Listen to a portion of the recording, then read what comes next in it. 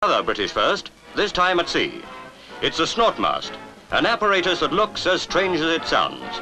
Its purpose, a breathing device that enables submarines to stay underwater for several weeks.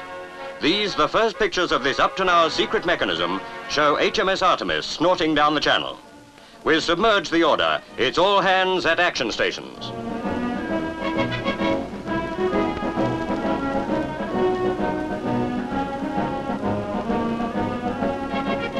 Down she goes, all set for the first breeding test. Without snort, Artemis would have to be up again within 24 hours to recharge her batteries. But with this amazing ventilation device perfected by the Royal Navy from the original German Schnorkel mechanism, the submarine's range and striking power is extended considerably.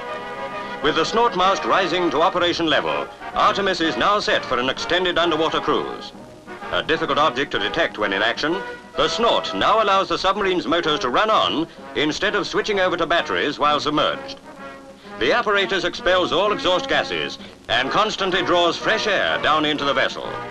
During recent tests, one vessel remained below for more than 40 days. The snort has revolutionized submarine warfare.